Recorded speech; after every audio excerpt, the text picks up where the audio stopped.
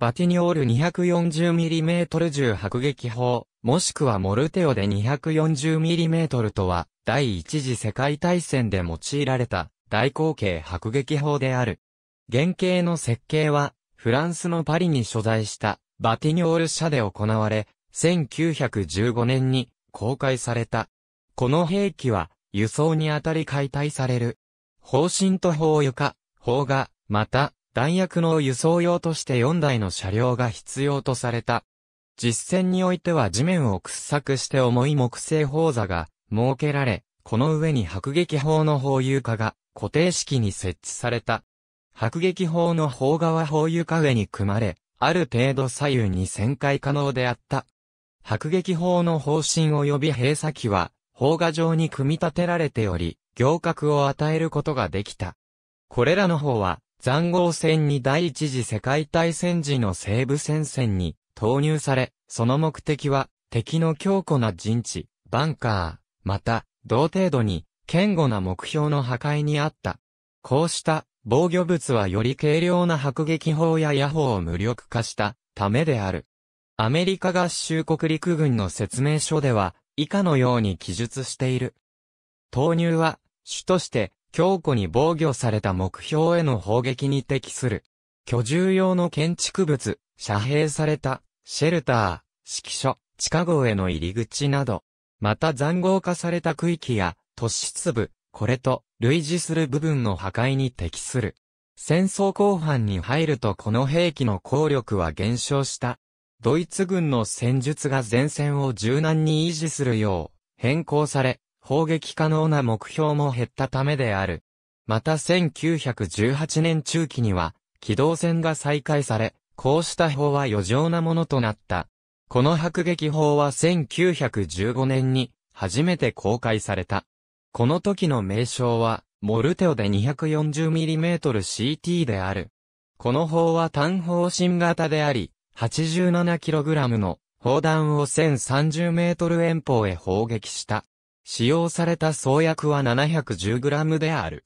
最初の大規模投入は1915年9月25日、第2次シャンパーニュ海戦だった。この後に、モルテオで 240mm、LT と呼ばれる、超方針型が続いた。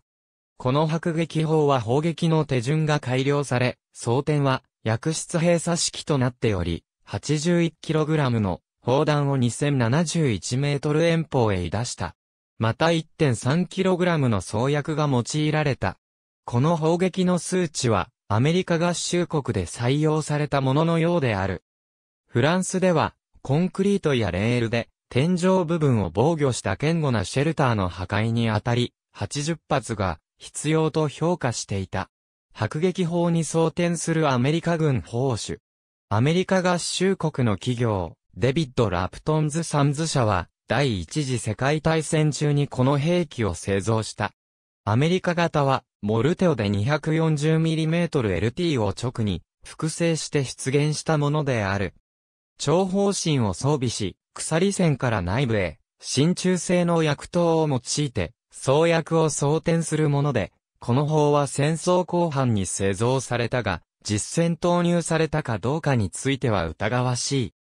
1917年12月の説明書はこの兵器について9.45インチと記述しているが、明確にこれはフランス製の 240mm 銃迫撃砲であり、説明書ではこれをアメリカ合衆国が採用したと記述している。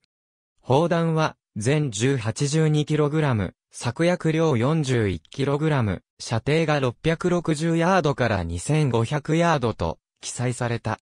1918年の説明書では砲弾について記述があり、モデル1916タイプ T、重量 83kg、策薬量 42kg、全長1.02メートルとしている。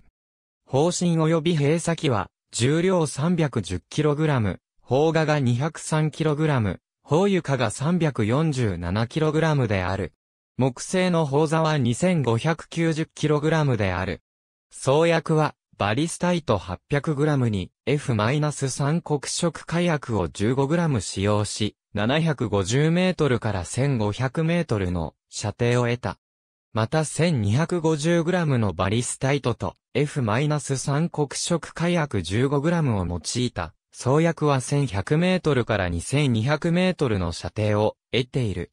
この量はフランスの重迫撃砲が最大射程で用いられる際、見積もられた装薬量と同じである。分離装薬が使用されているが、この重迫撃砲の砲弾団体は、装薬を収める薬筒と分離された部品となっている。薬筒は、フランジ状に成形された、真鍮製のもので、全長 248.3mm、直径 169.4mm だった。